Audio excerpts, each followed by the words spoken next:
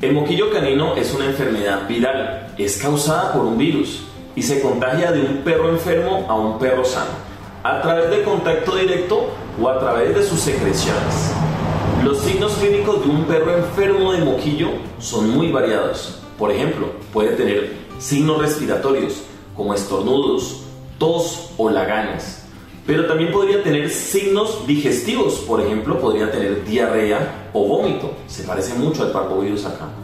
Pero también podría tener un signo neurológico, como por ejemplo movimientos involuntarios, como tics, pero también puede llegar hasta convulsiones.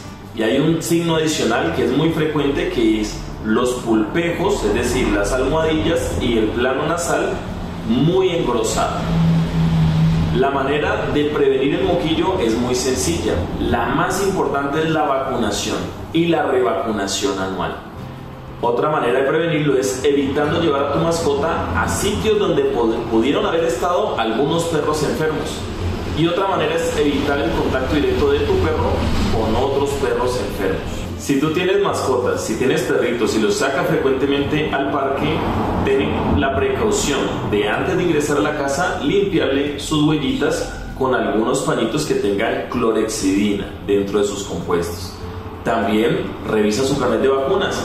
Si, si no está al día, llévalo al veterinario y que por favor te pongan el refuerzo anual.